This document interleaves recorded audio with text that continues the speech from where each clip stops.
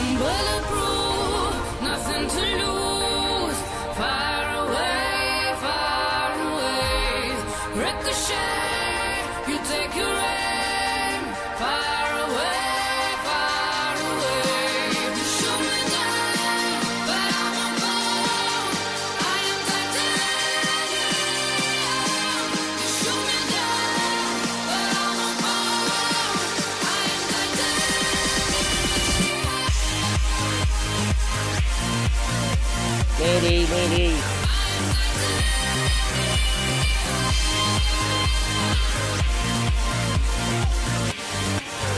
Now you're witnessing the scene of a punctured tire. This is the F1 pit stop. we are busy changing the tire here.